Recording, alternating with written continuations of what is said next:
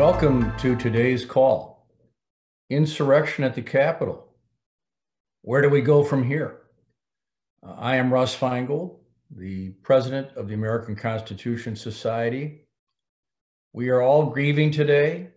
We are grieving the loss of life and the reality that the foundations of our democracy appear shaky at best. For the first time since the War of 1812, our Capitol building, our citadel of liberty that I was honored and humbled to work in for close to two decades, was under siege just 48 hours ago. Egged on by President Trump's refusal to accept his electoral defeat, this was an attack on the very foundations of our democracy. Make no mistake, these were not protesters. These were rioters incited to violence by government officials. In the wake of this assault, we have to ask what's next? How do we recover from this assault? How do we heal our democracy and punish those responsible? Both those who physically breached the Capitol walls and those who incited the violence. Should the president be removed from office? And what can and should be done in response to law enforcement's relative inaction in the face of mobs who infiltrated the Capitol complex as compared to the treatment of Black Lives protesters last year.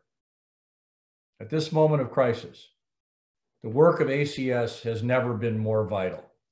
So I'm really thankful to our speakers for agreeing to participate in this call today on very short notice and to all of you for being with us. So now I'm going to turn it over to ACS's Director of Policy and Program, Deborah Perlin. Thanks for putting this together so quickly and effectively, Deborah, and you will get the conversation started. Thank you. Thanks so much, Russ. Um, two quick housekeeping notes before we get started.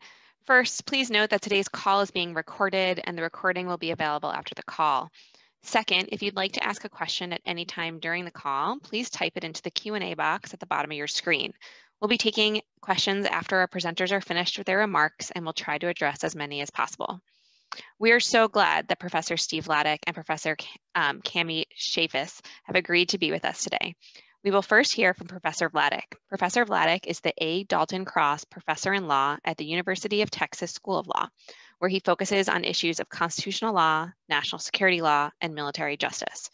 Professor Vladeck's scholarship has been featured in an array of legal publications, including the, including the Harvard Law Review, the Yale Law Journal, and his popular writing has appeared in forums ranging from the New York Times to BuzzFeed News. Together with Professor Bob Chesney, he is also the co-host of the popular National Security Law podcast. And perhaps most importantly for our purposes, we at ACS are also proud to have him as a member of our ACS's Board of Academic Advisors.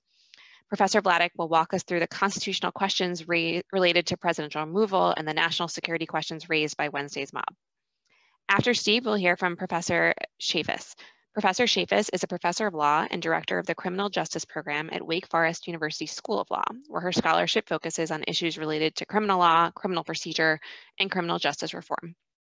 A frequent contributor to national and international media outlets, her writings have appeared in the New York Times and Huffington Post, among others. Professor Chavis is a former assistant U.S. attorney for the District of Columbia, and importantly for our purposes, the faculty advisor for the Wake Forest ACS Students Chapter. She'll talk about the prosecutorial options for the rioters and police conduct and misconduct issues. So without further ado, I'm going to turn it over to Professor Vladeck. Great. Thank you, Deborah. Um, thanks, Kami. It's great to see you guys. Russ, too. Um, I wish we were under better circumstances, but um, still nice to, to, to, see some friendly faces.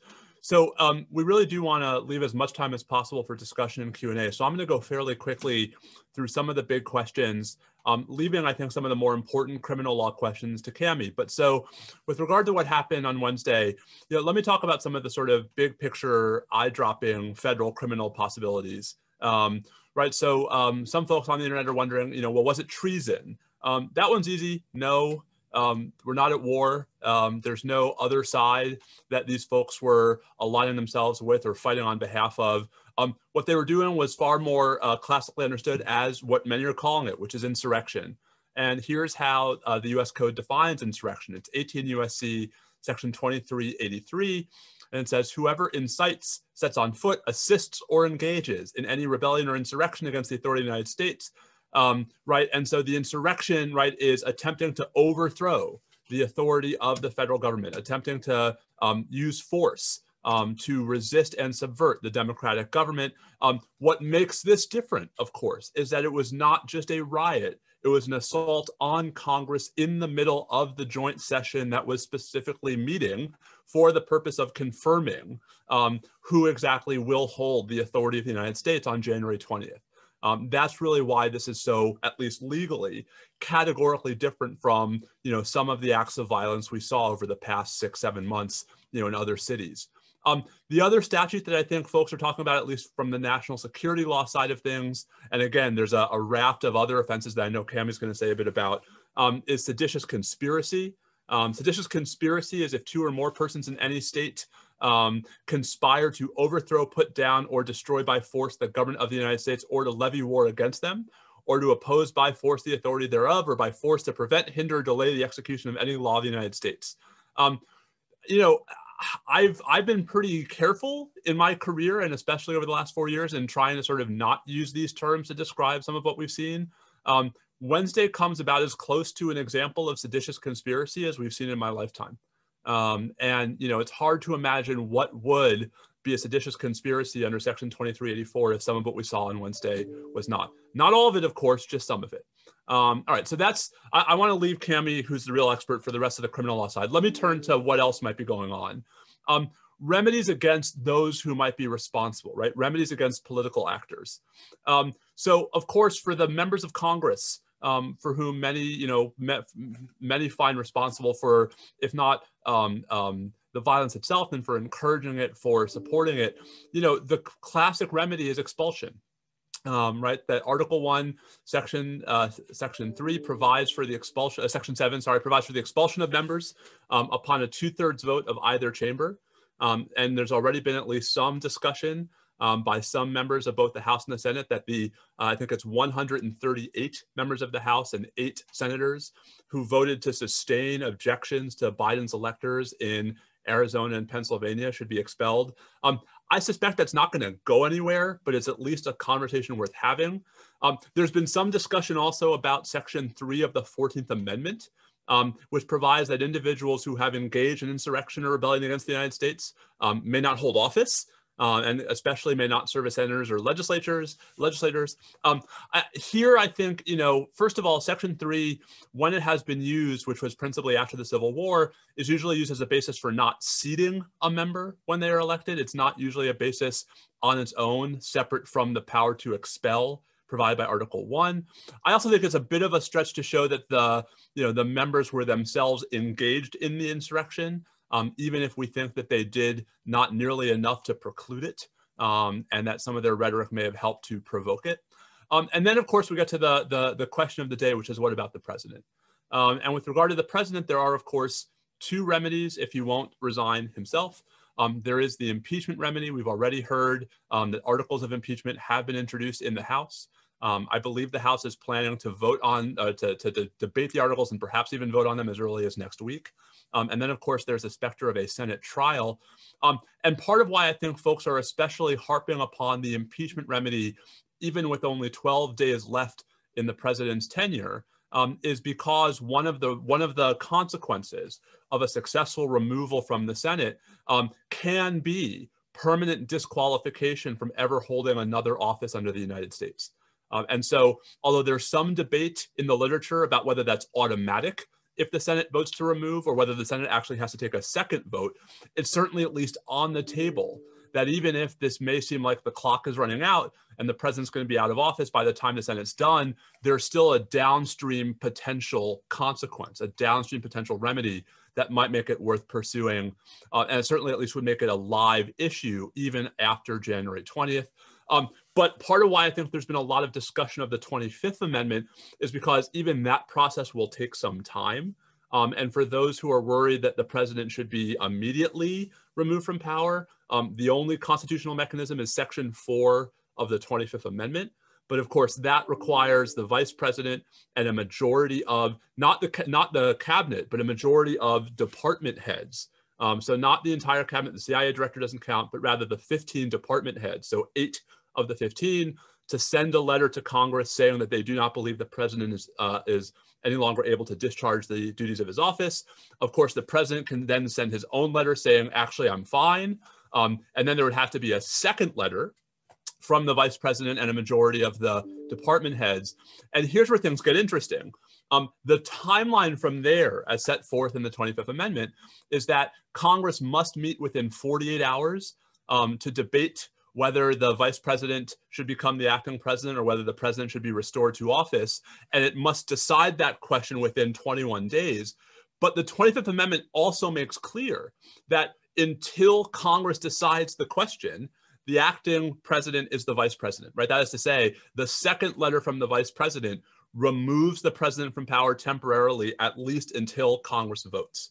Um, and this is, I think, why a lot of folks think this is worth discussing right now, because that would be both an immediate remedy and Congress could then simply run out the clock. Um, that as opposed to even having to vote on whether the president should be permanently removed from office, if we hit noon on January 20th, that matter becomes moot. Um, so, you know, these are obviously not exactly topics that we thought we'd have to discuss on a regular basis. Um, they're immensely grave. Um, none of them should be considered lightly. But, you know, the, the mechanisms are not powerless when it comes to what to do in a situation like this. Um, and so I think one of the real questions is whether there's the political will to pursue some of these mechanisms because the legal mechanisms, the legal tools really are there. Um, reports from earlier today are that the vice president has no interest um, in invoking the 25th Amendment. I think Secretary Carson put out a statement that he has no interest in, you know, pursuing a 25th Amendment remedy. Um, so that's probably just still an academic discussion for the moment. But at the risk of, of being a bit of a sort of, you know, worrier, um, there's still 12 days um, until the president's no longer the president. And you know, there's no reason to believe that what happened on Wednesday is the last time he's going to do something wholly unbecoming his office before he no longer holds it. Um, so I'm going to sort of stop there, even though there's so much more to discuss, because I want to get out of the way and, and turn the floor over to Kami. Great, thank you, thank you, Steve, and, and thank you, uh, Russ and, and Deborah for uh, for inviting me to this uh, discussion. Um, you know, so I agree with everything um, that that Steve uh, has said, and I have kind of a few points that I want to move through. Um, uh, you know, first there are the the lower level crimes that I want, you know, we want to discuss, and some of the nuances um, regarding some of the the charges there. Um, and I want to talk about the importance of bringing those individuals uh, to to justice because we haven't seen, um, relatively speaking, we haven't seen um, a, a, a lot uh, of arrests when we look at the number of people that were there and, and the damage that was done and we uh, know uh, that was uh, perpetrated. So I want to talk about the importance of bringing um, those folks to justice and a little bit about uh, how prosecutors might uh, do that, the evidence and things that they would use. Um, but and, and then I want to talk about uh, understanding how it is that so many of these crimes that the rioters had the opportunity to commit so many of, of these crimes. What we were looking at is um, what we saw on January 6th was a systemic security breach. Those in the world of, of police accountability, we always know that the individual officer is responsible for their actions. Um, but uh, you know, in terms of any use of force that's used or or, or not used. Um, but what we saw here was a little bit different. We we ha have some systemic failures, and we know that these um, failures are usually rooted in an organizational culture, uh, and we look to uh, top leadership. So we will need to find out what happened, what's going on within, in particular, the the Capitol Police.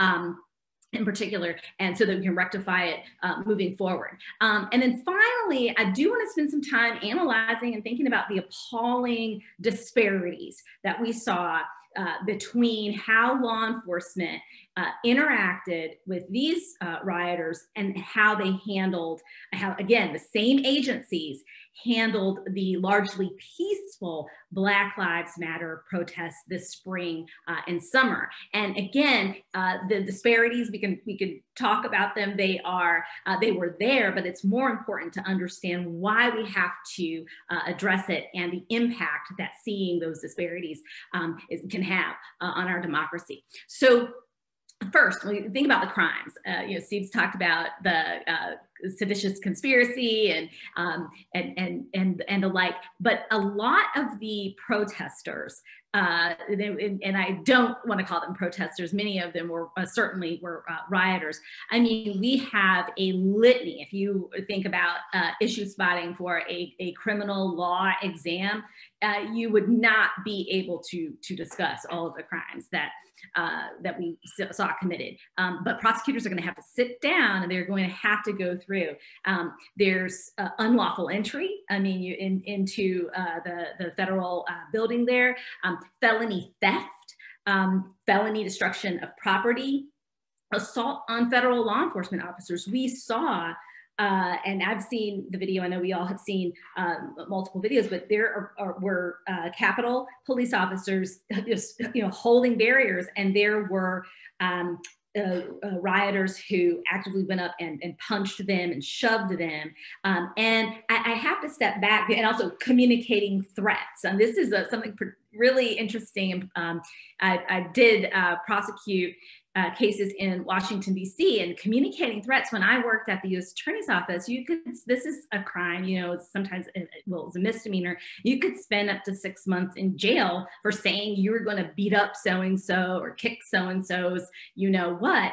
Um, and unfortunately, these charges disproportionately, again, um, reserved or leveled against um, racial minorities. And I'm sure there's some statistics that would bear that out, but we certainly saw communicating uh, threats um, at the very least um, uh, on, on Capitol Hill that day.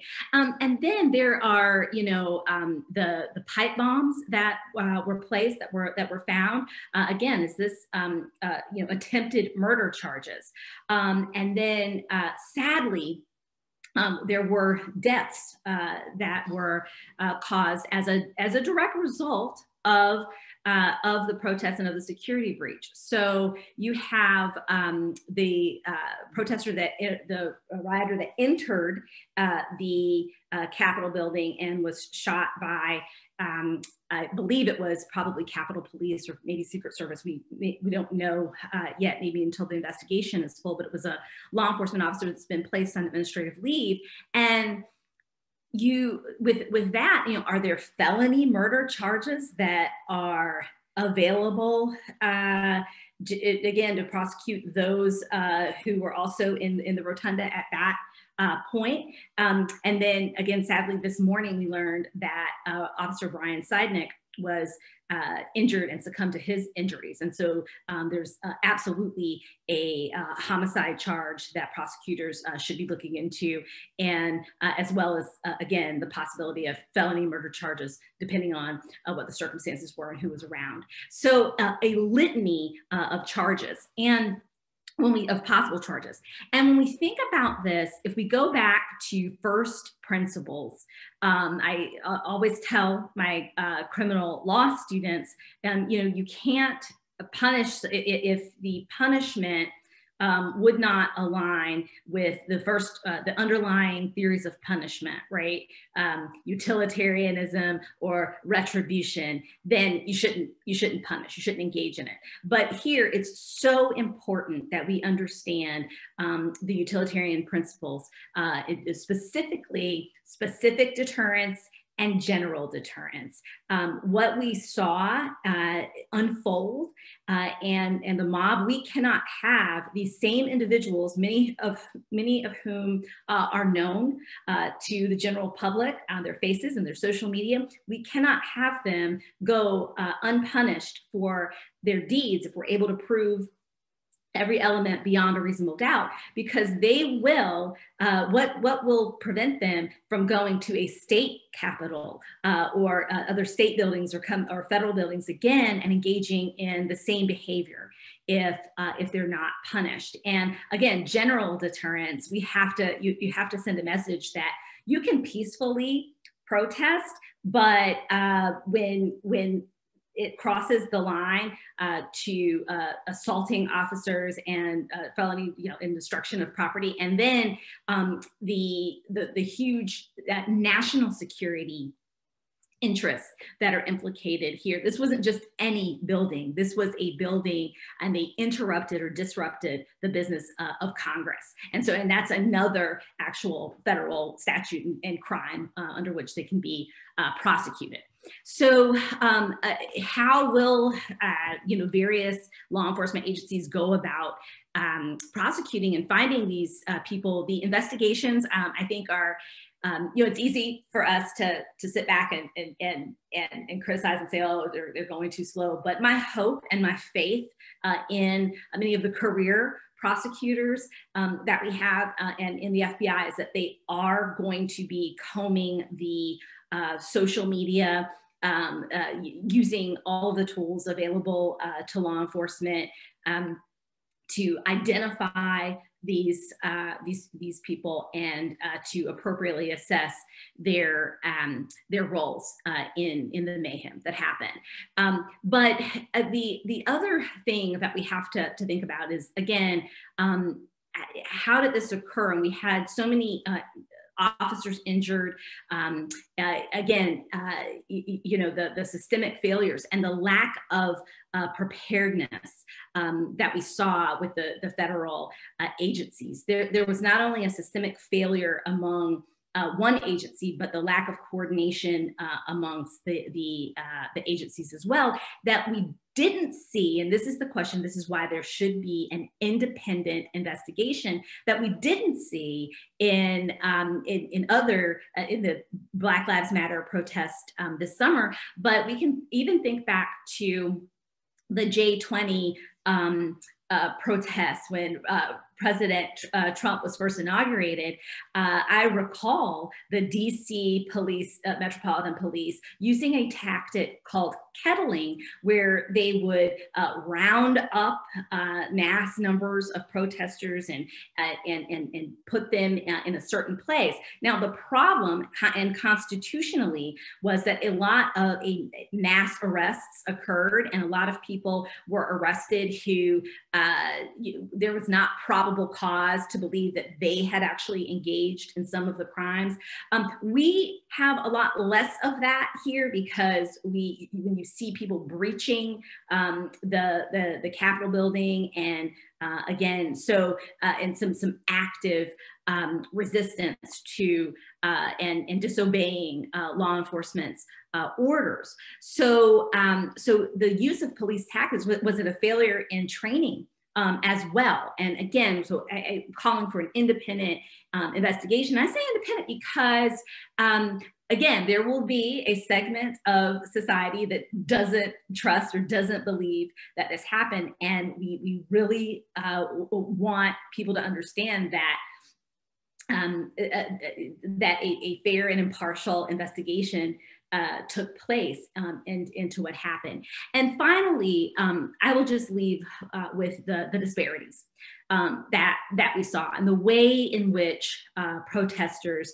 um, had, had been treated because um, and that's not to say if we could think about ratcheting up. It's not to say, well, you know, um, you you treated the black lives matter protesters this way so we should ratchet up and treat these people you know in the same way. If they were peacefully protesting um, you, you wouldn't want to see um, that that ratcheting up. You'd want to have um, the the protections that we uh, that they would deserve. But there's um, a marked difference here between the behavior, the largely peaceful protest that we saw this summer, and the behavior that was displayed um, on Capitol Hill January 6th. Um, and it's also um, what we know in terms when we think about uh, police accountability, uh, officers are allowed to use force as a part of their uh, jobs. It's just that that force has to be reasonable.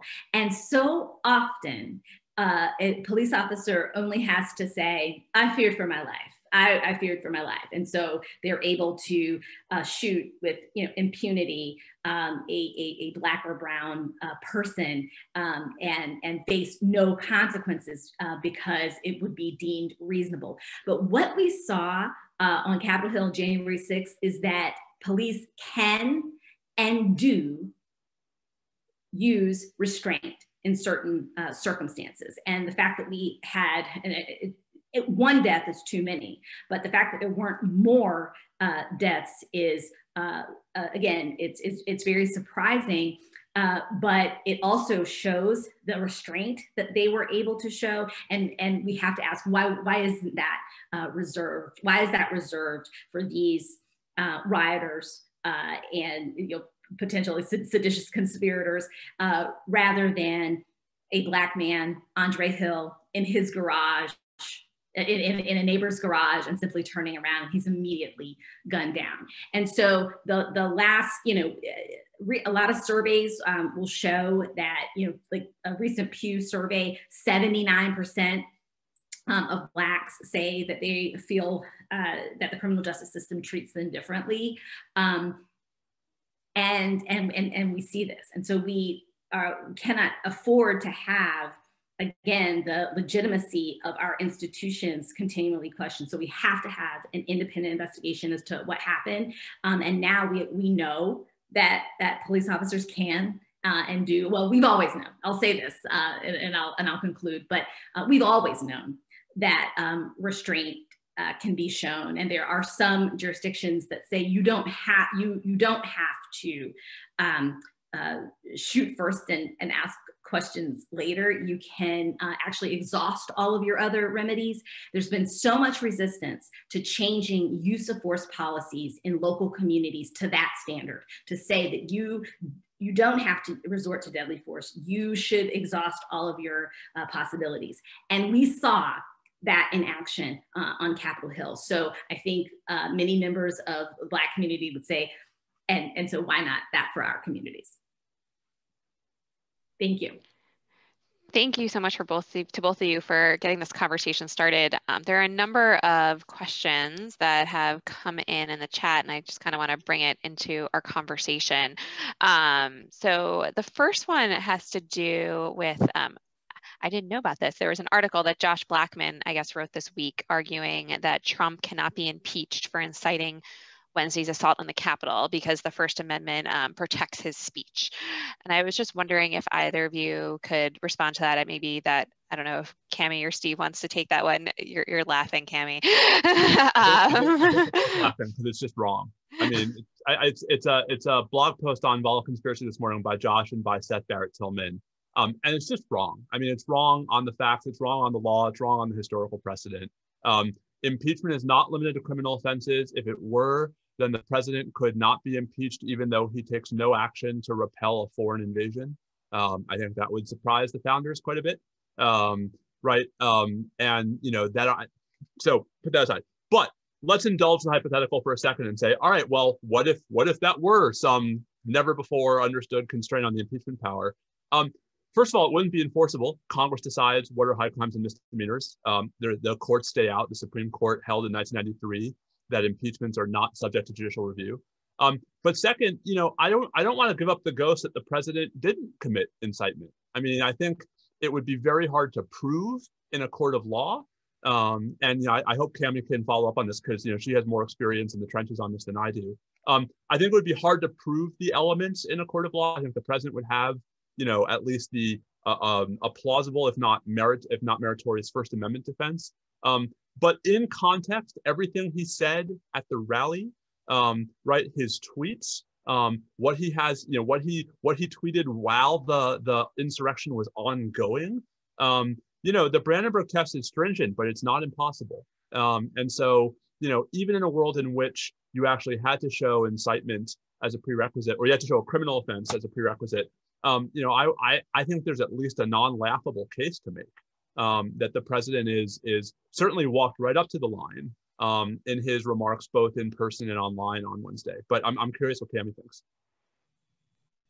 Yeah, I, I think again, you know, difficult difficult to prove the incite, uh, incitement. Um, so I would I would agree with you, Steve. And you know, we also have to think about some with with some of these. Um, so uh, a lot of these charges, you know, I mean, these uh, folks were there and they were there um, at the, you know, at the Capitol and they traveled. Um, and so they didn't just hear that some of them, I'm sure, didn't just hear this speech and, and go down there. They brought with them weapons um, and, and, and, and, you know, again, there are two pipe, pipe bombs uh, that have been constructed and, and, um, and left. So there's a, a fair amount of, of, of premeditation that um, was happening, pre preparation um, that was happening beforehand as well. So I'm quite sure that there's some folks who didn't need that um, uh, level of, uh, of, of, of, assistance and, and encouragement. But um, I do think that um, the words, and particularly the words of um,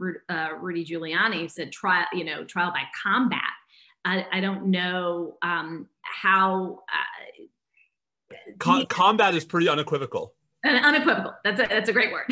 yeah, it's uh, you know there's uh, the, the president's words I find um, abhorrent, but more um, but a, a, bit more ambiguous. Rudolph Giuliani's um, you know uh, trial by combat is pretty clear. I mean, we should say that you know the Justice Department said earlier today that it's not pursuing any charges relating to anything that was said at the rally. Um, and I, I want to say I don't have a problem with that because you know it's there are lots of examples of things that I think are illegal and shouldn't be prosecuted. Um, and and this is this to me is a textbook case of what was said at the rally as opposed to everything that happened thereafter. Um, you know, and, and I think that's, you know, the other part of this also is just to, to, to go back to the original question just for a second, Deborah, you know, I think there's still a lot more to learn about what was told to the military, to the DC National Guard, um, you know, both leading up to and during the day on Wednesday. I mean, if the if the reports, you know, Governor Larry Hogan of Maryland, who's a Republican, um, if his version of events is accurate as he's as he's explained it, um, then there wasn't just um, negligence on the part of the federal government. There was a deliberate non-response. Um, and I, you know, the notion that that would not be something Congress could impeach a president for, I think, is just um, to describe it is to is to is to is to condone it. Yeah, and I guess there's also a debate, right, of just because if something may or may not be criminal doesn't mean they the president can or cannot be impeached over it, right? He can be potentially impeached over something that's well, the other thing is, I mean, and, and even if I mean, even if you believe that the text of the Constitution, by limiting impeachment to cases of high crimes or other misdemeanors, thereby actually does impose a requirement that there be a crime, um, that's a requirement enforced by the House and the Senate and nobody else. Um, and so, you know, if if a majority of the House and two thirds of the Senate believe that particular conduct meets the constitutional definition, that's the end of the matter so far as the Constitution is concerned. I just want to pick up on something you were saying, Steve, about the um, if um, Governor Hogan's version of events of what happened. If maybe we could talk for a second about kind of the the jurisdictional issues that are at play. I mean, DC is a non-state, um, and so um, how kind of the interplay in terms of law enforcement and where the legal authorities and jurisdictional overlays kind of come into play in protecting the Capitol and DC in general. Yeah, I mean, I, am I'm, I'm glad that this came up in a couple of the questions in the thread because I was hoping we'd get to it. You know, wholly apart from who can be like prosecuted for things that happen on Wednesday, I, I have some tough questions about exactly why the law enforcement response broke down. And Deborah, part of it could be related to the interjurisdictional cluster, you know what, um, that is law enforcement in DC. I mean, so just to, to sort of set the stage a bit, right? The Capitol Police are principally responsible for securing and policing the Capitol grounds. Um, but there are, I, Kami might know the statistic. I, it's like 38 federal agencies with law enforcement authority somewhere in the District of Columbia, um, right? That's you know, and then there's DC, um, and that the the MPD, the Metropolitan Police Department, in general, does not have the authority to police on the Capitol grounds unless they're invited, unless they're requested onto the grounds. But they were on Wednesday, um, and indeed, my understanding is that MPD was instrumental in actually clearing out the building. Um, so this creates a whole bunch of questions um, right? Um, first, there's a question of where was the National Guard, uh, right? Um, in most states, if this had happened, you would have seen an immediate activation of the National Guard by the relevant governor. Um, DC is the only jurisdiction in the country where the local government does not control the National Guard. Um, and you guys might say, well, that's because it's not a state. Well, neither is Puerto Rico or Guam or the US Virgin Islands. And those governors control their National Guards. Rather, this is actually a sort of quirky old remnant of a time before DC had a local government. Um, right, DC's only had a local government since the 1970s. I think 1970 specifically. So um, the DC Guard is under the control of the president and the Secretary of Defense. Um, and there are going to be a lot of questions about why they weren't out in much more armed force sooner. Um, the Maryland and Virginia Guards, right, are under the control of the governors of Maryland and Virginia, respectively, but they can't be sent into DC unless one of two things happen, unless they are requested by the federal government or unless they're requested by the mayor under something called the Emergency Management Assistance Compact. Mm-hmm. Um, and my understanding from the Governor Hogan's interviews, at least, is that um, EMAC was not activated by the mayor. Um, rather, they were going through the Defense Department, and DoD was dragging its heels. So, um, you know, Deborah, I have a lot of questions about exactly why they were caught so unprepared. Um, I, I, saw a quote today from, I think, an FBI official in a briefing that they just didn't have intelligence um, um, that, you know, tipping them off that this was in the cards. Um, do they not read the internet? right? I mean, are they not on Parler? Um, that seems like a rather significant intelligence failure. So there are a lot of failures here that I think are also part of the conversation, although less immediately, I guess.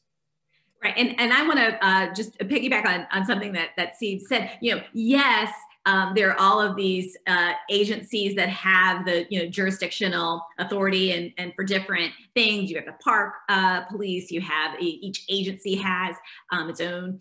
Uh, but um, uh, but washington dc this is a protest.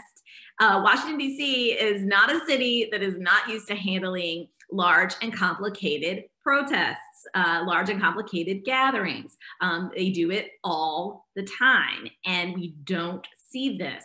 Um, and that's not to say that we don't see some level uh, of um, you know of, of folks getting uh, out of hand, but we've never had a, a, building breached um, in, in this way. So uh, I, I, have to believe that the that that part of the failure was uh, deliberate and it was um, and it placed not only did it place um, the uh, some of the protesters, some rioters, right? They're not, uh, they're both mixed in there. Not only did it place them in danger, it placed the, the officers themselves uh, in danger. And we've lost uh, one officer and um, others, dozens uh, injured. And, and now we, ha- and we have several deaths. So it uh, and, and and Congress and the members of our um, of, of our legislative branch and they're you know conducting their business. So these um they're this is not an innocuous oh you know um, that kind of thing. And, and to your point about the intelligence um, this also we have um, you know, we need to begin to pay more attention to the rise of uh, these insurrectionist uh, movements. Um, there, uh, there's, there's should be plenty of uh, intelligence available to our federal law enforcement um, uh, authorities uh, about a lot of the white supremacist groups that were there, the militia movements that were represented and that are organizing um, themselves, right? You have a, a, a, right to assemble, but you do not have a right to, uh, to, to, to, come and commit this type of, of mayhem that, that happened on January 6th. So let, us turn for a second to continue this conversation. Let's talk a little about redress, right? So if we actually do want to get to the bottom of what happened and we want to investigate and prevent something similar from happening, what is kind of the most effective accountability mechanisms that we can use moving forward? Uh, Deborah, that's a big question because it's about so much more than Wednesday. Um, and and you know there there's sort of there, there are the small oversight questions from Wednesday, and then there are the big oversight questions from Wednesday. And you know, when Kami talks about the intelligence failures, um, you know, that's about a lot more than Wednesday, right? Why why do we have the Department of Homeland Security busy looking into you know social media of reporters covering the Portland protests, but unable to figure out that this was going to happen? I mean, that's that's you know how that can happen. I think is a is a big question. Um, I, you know, the first thing I should say is I, I, think it's worth stressing that a heck of a lot of people are being arrested. Um, right, that that despite what the reports might look like on Wednesday, um, there have been you know dozens and dozens and dozens of arrests today, yesterday. There will be more Um, and there are, you know, there are going to be hundreds of criminal prosecutions forthcoming, and we're going to learn a fair amount from that because there are going to be a lot of folks in a position to trade information to the government in exchange for leniency. Um, but we need some robust congressional oversight. Um, I would love to get behind the idea of some kind of 9/11 commission style joint bipartisan effort. Um, but bipartisan means bipartisan, and that means senior Republicans endorsing such an enterprise, which would require senior Republicans to admit that the president lost the election. Um, and that you know the the 138 members of the House and the eight senators who voted to reject Arizona's and Pennsylvania's Biden electors, admitting that they actually had no good faith basis for doing that, um, so, you know, this is, I think this is the trick going forward, which is, you know, how much is going to be able to be done through bipartisanship and how much is going to require Democrats taking advantage of the fact that at least as of January 20th, they're going to control the political branches. And I think that's, that's a very hard call and depends to at least some degree on Republicans as much as it depends upon Democrats. Yeah, I, I agree. But uh, must be uh, uh, bipartisan, but also um, when we think about uh, the uh, what happened at the Capitol. Again, we've got 50 state capitals. We've got uh, state governments, and we saw what happened in Michigan um, with with the governor and um, the plot uh, there that was that was uncovered. But uh, we have to make sure that I mean, um, you know, hate crimes, bias crimes, um, and and insurrection and the rise of uh, militia groups. It's been happening. People have been warning uh, for the last ten years or more that that um, there's an, an, increase here. And so we need to, uh, again, devote our federal resources to honestly to looking in our own backyard um, at, at home um, in domestic terrorism. I just want to return the conversation a little bit to kind of the, the news of the day, right? President Trump still being in office conversations about the 25th Amendment, there's conversation about impeachment. And while a few Republicans have kind of come around to those ideas a lot, have not. Um, Lindsey Graham actually has a quote saying that if the president does anything else, quote, all options should be on the table. Um, but that still gives us 12 days. So in the next 12 days, if President Trump were to give an order that people of conscience didn't want to follow, what are the options that exist um, for while he's still in office if such an order were given, if any? So I mean, if, Deborah, assuming you mean in the military, right? Um, so the yes. you know the the folks have been talking about this for a while, unfortunately, and hoping that it was just an academic conversation, and here we are, and it's not. Um, so it's tricky because you know the the story, for example, about Speaker Pelosi calling the chairman of the Joint Chiefs and making sure the president didn't have the authority to launch nuclear weapons. Um, the chairman can't disobey a lawful order from the president of the United States. Um, not only, not I mean, he's committing a felony if he does. Um, right, and so you know the the military is supposed to have the power to disobey unlawful orders. Um, but that puts a heck of a lot of pressure on them in the moment to determine you know which orders are lawful and which ones are not now i have a ton of faith in our military um, perhaps more faith than i should um, but I also think that's a, you know, we should not be too comfortable in the idea that it's going to be clear in the moment which orders are lawful and which are not. If the president turns around and says, I want to, I want to launch a nuclear, you know, weapon at Iran right now, you know, that might be an easy call for the military, but there's a heck of a lot of stuff short of that. Um, right? If the president wants to deploy the military in and around DC on January 17th, um, in response to what I gather is going to be the next big, you know, gathering of of his supporters, um, is that an unlawful order? I don't think so. Right. So, you know, I think there are real vulnerabilities in the chain of command that underscore the push for some action before the 20th, right? That that that underscore why there are a lot of people who don't think the Lindsey Graham, Bob Corker view that we should just, you know, 12 days is a short period of time. Um, a lot can happen in 12 days, and the president is still the president until he's not. Kami, did you want to add anything or? Okay. Um, so part of why people I think are still talking about impeachment is not just for the 12 days, but also disqualification from future office, uh, potentially disqualification from future office. Or is there any other way, any other mechanism to disqualify someone from holding future office outside of kind of the impeachment and then that subsequent vote? The only one I know of is um, there's one or two criminal statutes, and the insurrection statute is one of them. Um, I want I want to get the text right, so bear with me for a second. But the insurrection statute says um, if you're convicted of this offense, you shall be incapable of holding any office under the United States. Um, now that's narrower than Section 3 of the 14th Amendment. Section 3 of the 14th Amendment also applies to state offices, um, but there are at least a couple of statutes that bring with them disqualification from holding future office. Of course, these are statutes that have pretty high proof thresholds, right? These are not going to be the, the easier ones to, to prove from what from Wednesday's events. Yeah, I was going to say, you know, again, those um, few uh, statutes that that would prohibit you from holding um, in office. But I think again, the the importance when, in thinking about impeachment, you know, yes, it can be a, you know a, a long and, and, grueling process. Not even sure that we could get um, the Senate uh, vote uh, on that, right? The two thirds uh, majority required something, but um, but to make sure that this person um, cannot, you know, uh, run for office and exact the the, the type of damage um, to our our institutions again would be uh, important. So, uh, so in addition to um, President Trump, I mean, it would be great to hear your thoughts about kind of what options are available for members of Congress potentially as well who have culpability for Wednesday's attack, expulsion. Are there other kind of statutes or mechanisms that should be under consideration, and who those should apply to?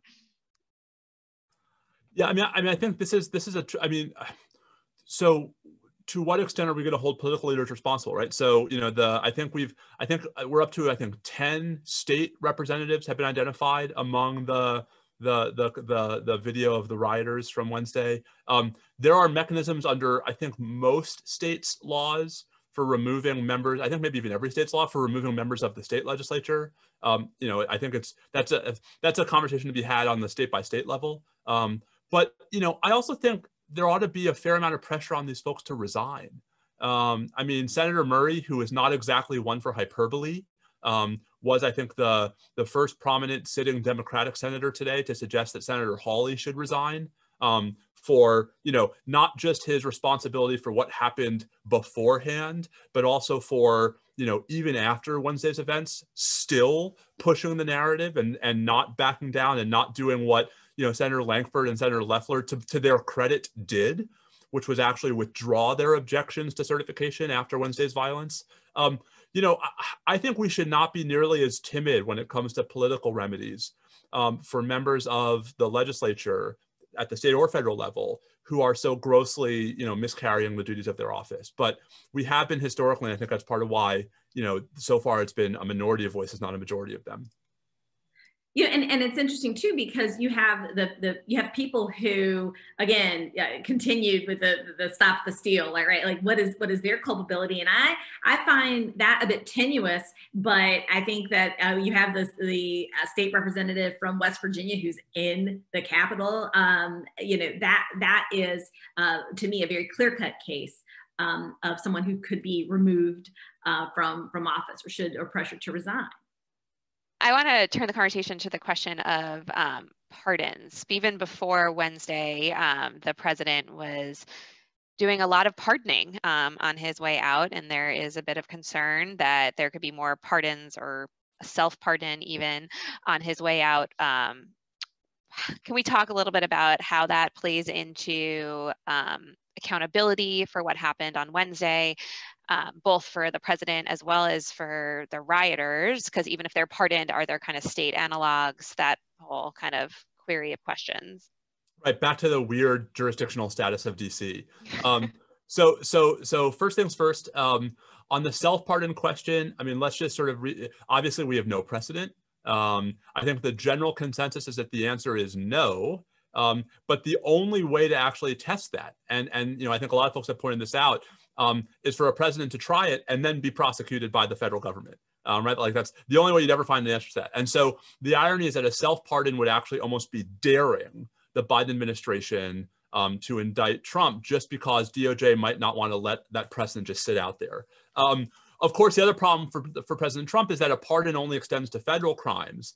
And at least for him, um, that does nothing to stop Cy Vance, the district attorney in Manhattan, um, from continuing with his investigations into Trump's finances, the foundation, et cetera.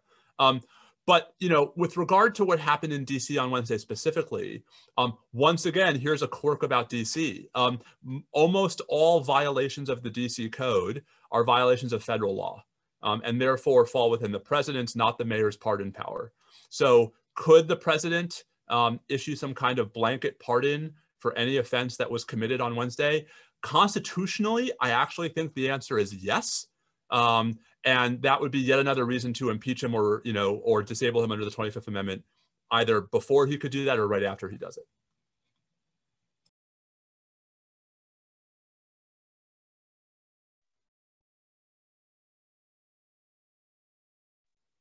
Kami, is there anything you wanted to add? Uh, no, you know, it, except for uh, again uh, the the presidential pardon power. That is that is something we have. Uh, you know, the Constitution allows the the president to to make these pardons, but um, it's it's very disturbing um, when uh, you've had a very, you know, a long uh, federal investigation, uh, like, like in the case of the, the Blackwater uh, contractors and, and the, the violence um, and uh, everything that we saw there. And again, it just, it, it just begs the question of, um, you know, for for whom uh, is, the criminal law? It's, it's it has it's traditionally reserved for though if you're not a you know a, a friend or a contributor uh, of of this uh, president, then you, you, may not have uh, been able to get that power. So I'm really worried about the long term damage that um, it's done uh, to our institutions and and to uh, to the rule of law and and just a, a wide swath um, of our country, not the folks that we saw um, on January 20 uh, on January 6th, but uh, a lot of Black and Brown communities who uh, you know are not able to um, to, to benefit from from this. And, and, and the, the damage um, that's being done there and the illegitimacy with which uh, those communities uh, see uh, the criminal justice system is again something that we we have to take up just so just following up on this conversation a little bit more um, this is an audience of lawyers. So there are lots of government attorneys i'm sure who are on this call today and if you were kind of that government attorney who is now being asked to prepare pardon papers are there kind of concerns that you would have uh, at this point for your own kind of culpability Oh, it's a big one. Uh, I, I, almost want to punt to Cam because I don't really want to answer that, but I'll, I'll take a stab. Um, so listen, everyone has to keep their own counsel about their ethics and their morals, and it's not my place to tell you what your ethics and morals are. Um, I, I do think, and I do hope that folks who are in the government and are asked in the next 12 days to do things that go against their conscience and their morals, you know, think about whether there's a mechanism for them to actually push back against the action through channels um, and if not, think seriously about whether you know abiding something with which they so vehemently disagree um, is worth maintaining their current position. Um, you know, I'm I am not a fan of the of the senior Trump officials who have only just now found what I think Secretary DeVos called her inflection point. Um, but you know, line rank and file folks who have been trying their best for four years to just do their jobs and keep their heads down are a different class and a different question altogether. So, you know, I, it, it, I, I hope folks aren't put in that impossible situation, but when you are, you know, I just I just hope that they don't fear the consequences for actually putting their morals ahead of their orders. Yeah, just I mean, in terms of the ethical obligations uh, of lawyers, you know, if you believe that you've been asked to do something that is that is a violation of, of ethics, there are, you know, the DOJ still has an, an ethics office, right? Um, uh, to you know to, to ask these questions. But again, the fact that we are the fact we're questioning uh, so much is, is is is really the issue that that this that these four years have led us to this point to question whether or not the, the mechanisms and the systems that we have in place um, are, are, are going to be uh, adequate. I just want to bring us back as we're kind of closing out to um, something Kami was talking about in her remarks in terms of the um, the racial inequities in, ter- in, in terms of policing that we really saw come to light on Wednesday, and just your thoughts on whether or not what we saw on Wednesday can kind of give momentum for some comprehensive reform of law enforcement to address the racial biases and inequities that we've seen for a long time.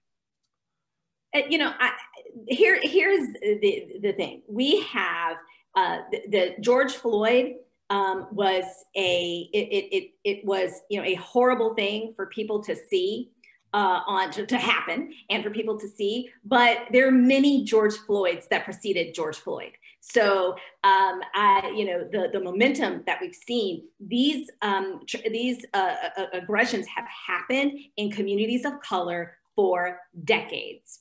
Um, and so this is not new. We have the tools to uh, address uh, police violence and police accountability. Um, there's the uh, section, um, the pattern or practice authority that the uh, United States government has that uh, the Trump administration did not uh, enforce at all in the four years that he was in office. And so it was vigorously used under the Obama administration. We hope to see um, the ability of the federal government to uh, work with local uh, local police departments, uh, figure out uh, the unconstitutional violations, the patterns that are happening, and figure out uh, appropriate uh, remedies. And the communities should be involved. But um, again, these, this is not new. We have the tools. We know what to do. We have not had the political will to do it. And this precedes the, the, the Trump administration, unfortunately and I'll just I'll just piggyback on that to say I actually think what happened on Tuesday is more important than what happened on Wednesday when it comes to meaningful law enforcement reform, and by that I mean the Georgia runoffs, um, because you know I think there's a, a, much greater chance of some kind of meaningful legislation getting through Congress with the Democratic majority, with you know at least a nominal Democratic majority in the Senate, and with the Democratic president, than even even than there was last summer when there was such a groundswell for it. Um, and and as importantly, I think this is the really interesting, you know, long-term political question. Um, you know, Steve Schmidt, who was I think John McCain's uh, campaign manager in 2008, he tweeted that you know this is gonna this is gonna fracture the Republican Party, right, between the sort of the the Trumpist wing of the Republican Party and the less Trumpist wing of the Republican Party. And the question is whether in a Biden administration, you know, there are going to be efforts to try to keep some of the less Trumpy Republicans on board with some kinds of these reforms, right? Mitt Romney, Susan Collins, Lisa Murkowski. Um, and if not, is that going to be enough to convince Joe Manchin to agree to blow up the filibuster? Like, I mean, I just think, you know, a lot of what Kami's talking about is possible at the federal level, if and only if there's a real effort on the part of the Democrats to push this through as a, as a, as a policy agenda. Well, we are running out of time. I just want to give both of you a chance if there's any kind of concluding thoughts or things you wanted to get across that we haven't covered. I think uh, what, what I would say um, to close is just um, the fact that, again, emphasizing that what we saw um, on, on Capitol Hill was a systemic failure. You know, um, I, I, know that, that uh, Steven Sund has, has, has resigned. I know that there are uh, more resignations within the Capitol Police uh, to, to um, you know, maybe forthcoming. Um, but uh, we, again, we have to have um, an investigation or commission to figure out, uh, because these failures, they, it, it, wasn't just something that happened on Wednesday, the intelligence failures, which again, I'm not even sure that I believe that they, that they didn't know something like this um, uh, was afoot, but the, the lack of preparedness caused um, a lack of uh, caused uh, deaths. And uh, also, um, how do we look now to um, uh, other uh, other nations and and to know that it was possible to breach the capital in that way with our legislators inside. So we have to uh, take this up on so many um, so many different levels. And I just say, I mean, I I, I, I don't want to repeat myself. The, the only thing I would say is, you know we spend a lot of time talking about sort of theories of executive power in in law schools um, and in, in common law classrooms. Um, and I think we've seen as transparently as we ever could um, the dangers of what has been the the the sexiest theory of executive power among conservatives for the last 30 years, which is the unitary executive. Um, right, which is that if you take the unitary executive to its full stopping point, there's almost no mechanism to stop a president from doing what the president did on Wednesday. Um, and that, you know, if anything, hopefully the events of the last few days, if not the last few years, allow us to reinvigorate a serious conversation about better distributing the powers between the political branches as opposed to allowing so much to drift to the executive. Well, with that, I just want to thank um, Professor Vladeck and Professor Chavis so much for being with us today. This was a really fantastic conversation. As, as Steve, you said at the top of your remarks, I wish it was under better circumstances. Um, these are really tough days for our country, but we're grateful that we could all come together today to have this forum and to discuss the legal issues at play. Um, so thanks again and see everyone Thanks, soon. Deborah. Thanks, Kami. And, and thanks to everybody who, who, who watched. Looks like we had a good audience.